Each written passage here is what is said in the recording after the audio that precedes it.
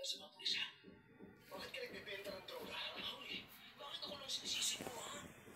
Tingin mo kaya kong gawin ito mag-isa? Ha?